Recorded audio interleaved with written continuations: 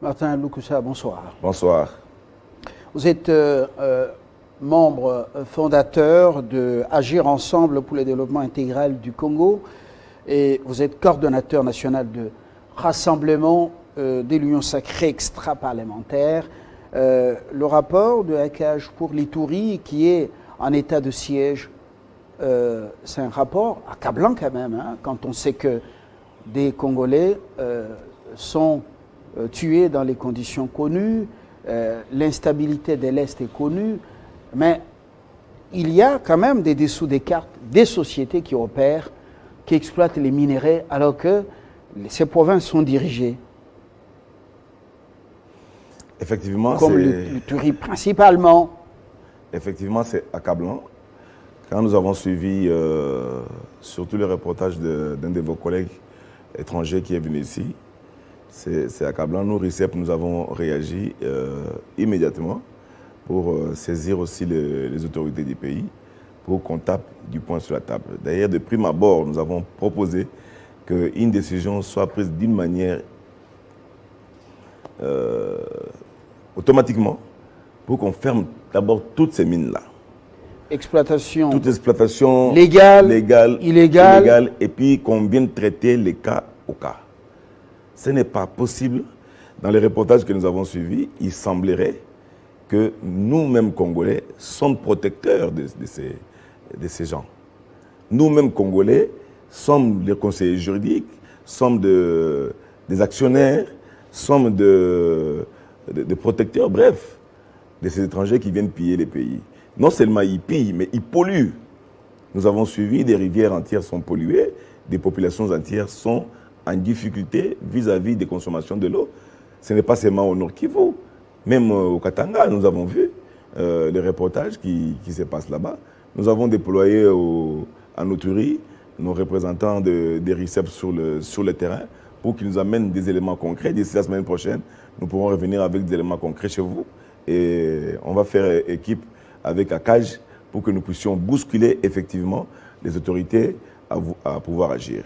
Donc, selon RICEP, il faut absolument fermer toutes les mines, exploitation artisanale, semi-industrielle ou industrielle, pendant toute la période de l'état de siège. Effectivement, et puis et vous pensez que ça, ça, ça, apporterait des solutions? Ça apporterait, parce que les informations que nous avons font état que ce sont ces gens-là qui instrumentalisent, qui financent les, des bandits et voyous qui tuent et pillent euh, qui crée l'insécurité au niveau de l'Est du pays. Et je pense que ces, bandits doivent être euh, mis hors d'état de nuire en commençant par fermer les mines qu'ils euh, exploitent. Et après, l'État va commencer à traiter les cas, au cas, les cas au cas pour voir ceux qui sont en, ordre de pouvoir continuer et payer les droits de l'État comme il se doit. Alors, tout à l'heure, j'étais en train de parler des sociétés minières, la réalisation et en accord avec moi et non pas minier, euh, tout était vraiment clair. Alors, Martin Loukoussa, euh, l'exploitation des minéraux, apparemment, c'est ça le vrai problème. Euh, la vraie cause de l'insécurité dans la, la, partie orientale du pays. Effectivement, ces gens, ils ont des milices qui les protègent. Et dans les milices, il semblerait qu'il y a même des, des phares d'essai qui, sont qui sont mis à leur cause. Et c'est eux qui les payent, c'est eux qui, qui, les entraînent à les protéger et ça crée sûrement euh, l'insécurité. On ne peut pas comprendre qu'on puisse avoir des FADC en train de protéger des civils qui pillent et les étrangers plutôt, je voulais dire, qui pillent et qui polluent le Congo. Alors, euh, la mission parlementaire diligentée par euh, l'Assemblée nationale, vous pensez que c'est une mission à laquelle il faudra faire confiance, du moins pour le Sud Kivu, mais les touris, on n'en parle pas. Non, mais ce qui est grave, c'est que la justice ne bouge même pas. Une mission d'enquête, euh, c'est bien beau, ça commence à bouger un peu, mais il faut que la justice de notre pays se réveille un peu pour frapper. Ils doivent se saisir d'office de, ce genre de, cas. On ne peut pas comprendre que pour des, faits mineurs ici à Kinshasa, qu'on lève des boucliers sur les gens, et pour des cas graves qui portent atteinte non seulement à la vie de nos citoyens de tous les jours, qui portent atteinte à notre économie, qui portent atteinte à la sécurité de notre pays, et que la justice ne bouge pas jusqu'à présent. Il y a quelque chose qui ne va pas dans un État que nous voulons des droits. Alors, à votre humble avis, pourquoi on n'a pas eu, les dirigeants n'ont pas eu le courage d'inclure l'arrêt des mines, l'arrêt de l'exploitation des, mines euh, ou, des minéraux euh, dans cette partie du pays, inclure dans l'état de siège? Ça serait violer les droits de l'homme? Non, ils doivent le faire. Ils doivent le faire. Ils doivent le faire impérativement. Nous allons pousser derrière, ils doivent le faire. Si nous voulons que ces pays soient celui que le chef de l'État veut, un État de droit qui garantit la sécurité des citoyens de ces pays, qui protège les enfants de ces pays, eux, leurs biens et leurs richesses, puisque c'est que les, les, sujets chinois et autres sont en train de faire, ils sont en train de piller nos richesses. Les richesses de nos enfants, de nos arrière-enfants. Qu'est-ce que nous, nous allons laisser à nos enfants? Des béants Ce n'est pas possible. Alors, euh, au niveau justement de cette situation, vous l'avez décrite, grave, il y a aussi un autre volet, c'est donc l'obtention des titres ou des documents légaux. La ministre des Mines venait de quitter la partie est du pays, la partie orientale, et là, euh, effectivement, une tournée importante. Aujourd'hui, elle est dans le Grand Katanga. Euh, vous, vous pensez que ça a été une mission efficace et qui a produit euh, ses effets? Non, il n'est pas efficace dans la mesure où on n'a pas mis fin à cette tragédie. La ministre, elle est dans son, dans son rôle de, contrôle des missions, mais je crois que derrière elle, la justice doit immédiatement agir. Il n'est pas possible qu'on fasse des missions et puis qu'on vienne qu'on fasse des rapports. On boucle l'affaire, on classe des dossiers et demain, ça reprend. Ce n'est pas, ce n'est pas sérieux. Ça, ce n'est pas sérieux. Nous sommes euh, indignés de voir que notre justice euh, nous trahit un peu. Les pressions exercée par la société civile, apparemment, ne semble pas produire des effets escomptés ou des résultats attendus. Parce que cette société civile est accusée d'être euh, de mèche avec tel, ou tel, ou de rouler pour tel ou tel autre. Alors, au niveau des extra parlementaires, vous ne voyez pas qu'il faut euh, une autre façon de faire pression. Laquelle? Non, mais je pense que peut-être euh, les gens qui sont censés faire ce qu'ils doivent faire ne, comprennent pas la portée de la gravité de la situation qui se passe. La, la, justice est latente. La justice est latente. Euh, la société civile, elle prend les couleurs qu'elle prend par moment. Et les, les, parlementaires, vous connaissez les us et coutumes, ils vont partir, ils vont que vous avez suivi que pour faire rapport. Mais vous, euh, à votre niveau, est-ce qu'il n'y a pas moyen de faire pression autrement? Et sur la justice et sur les dirigeants Nous allons faire pression. Nos avocats sont en train de préparer les dossiers. Nous allons faire pression. Nous irons vers la justice pour que ça puisse bouger un peu. Ça n'est pas normal. Ça n'est pas normal. Où les gens veulent travailler, où ils veulent aider les pays, où ils ne veulent pas. Ils n'ont qu'à laisser, euh, qu'à bouffer leur, leur chapeau et laisser la place aux autres. À l'allure où vont les choses, euh, l'état de siège euh, peut-il vraiment donner des résultats qui, sont, qui étaient attendus ou qui sont attendus? Ça va donner des résultats. Vous savez qu'avant qu'il y ait l'état de siège, ce genre de choses, on ne le connaissait pas. C'était vraiment dans l'ombre. Ça veut dire que cette action-là est en train de nous donner l'occasion de révéler des choses qui étaient cachées jusqu'à présent. Parce que ce n'est pas aujourd'hui que ça a commencé. J'ai suivi les, reportages. Ça fait des dizaines d'années que ces gens-là exploitent là-bas. Non seulement ils pillent, ils nos minéraux, ils polluent les rivières, mais ils torturent. Ils prennent nos, frères et sœurs en esclavage là-bas. Vous avez suivi les Congolais qui sont tabassés dans les mines, qui sont tués dans les mines, sans que personne ne dise mot. Avant, on ne les savait pas. Mais avec l'arrivée de l'état de siège, je crois que c'est tout ça, ces efforts combinés, qui doivent nous permettre d'atteindre les résultats escomptés. Et je reviens encore pour insister et souligner que notre justice doit sortir de son sommeil. Alors, les, euh, des milices sont mises à contribution par ces exploitants illégaux, comme on l'a dit dans la province de l'Itourie. Également, euh, ces milices sont aussi au service des tribus, de certaines tribus l'autodéfense pour qu'on ne soit pas piétiné par tel ou tel.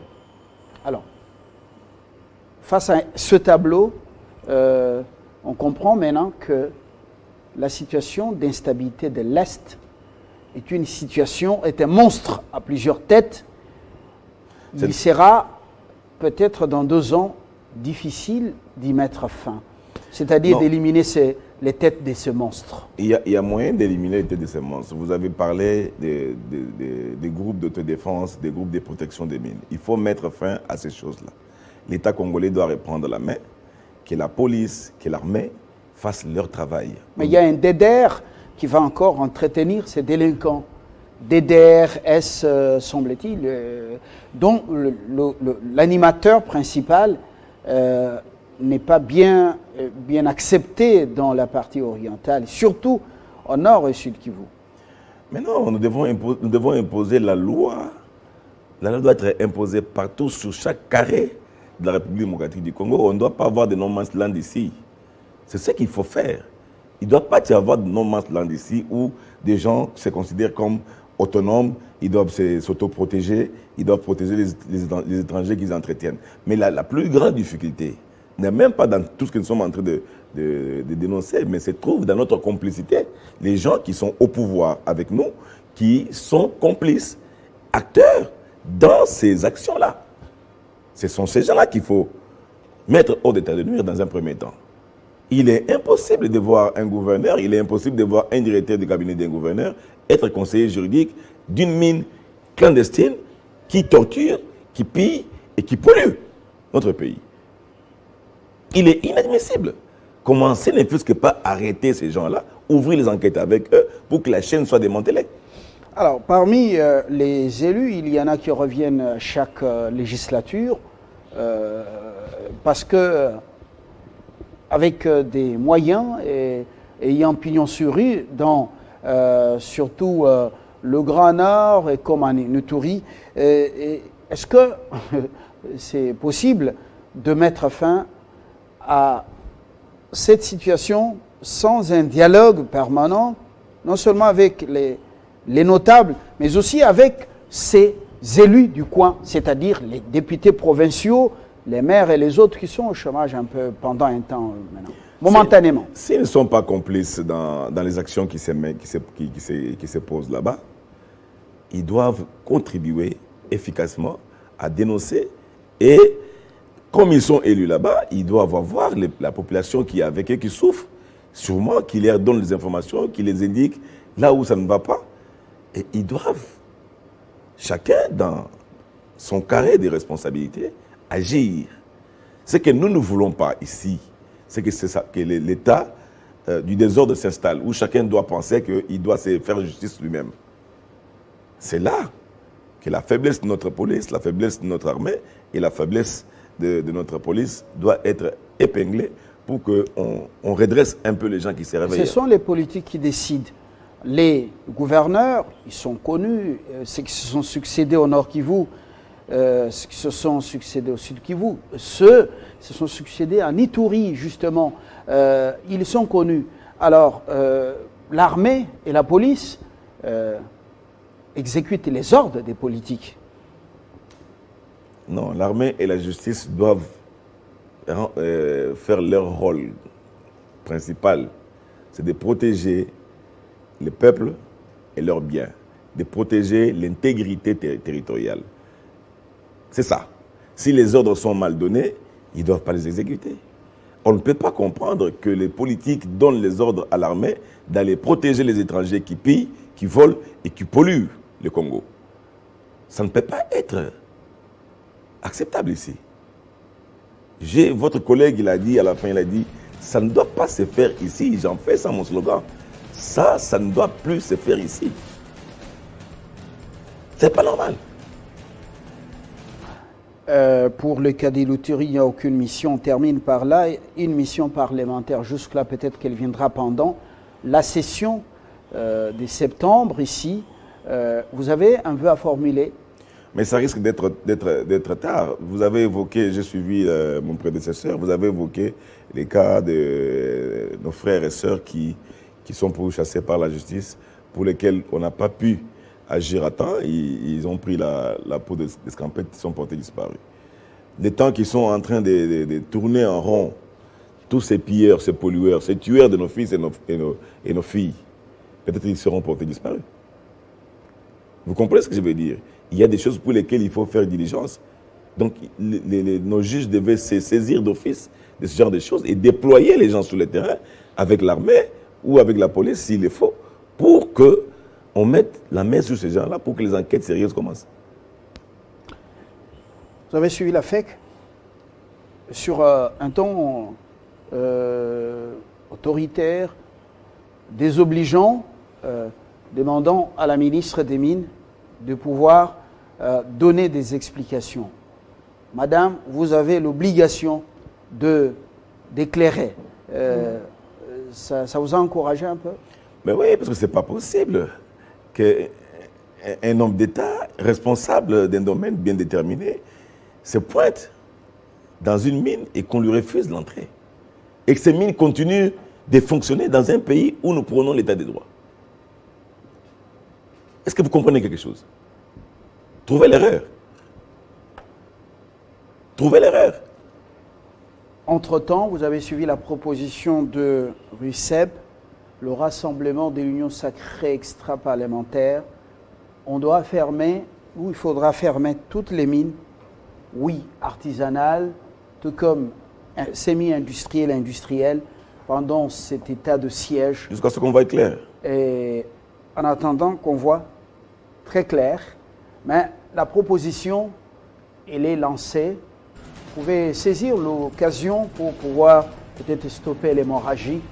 Euh, nous suivons de plus près l'évolution de l'actualité, surtout les parlementaires, mais pour euh, l'État, la situation du, de l'Itourie, la situation est extrêmement grave. 30 sociétés, euh, ça nous arrache les sommeils. Merci, euh, Monsieur Loukoussa. Je rappelle que vous êtes le coordonnateur national de euh, Rassemblement de l'Union sacrée extra-parlementaire. Vous êtes cofondateur de Agir Ensemble pour le développement intégral du Congo. Merci d'avoir été de nous. C'est moi qui vous remercie. Le journal et après sur Télé 50 avec le même plaisir. Bonsoir chez vous.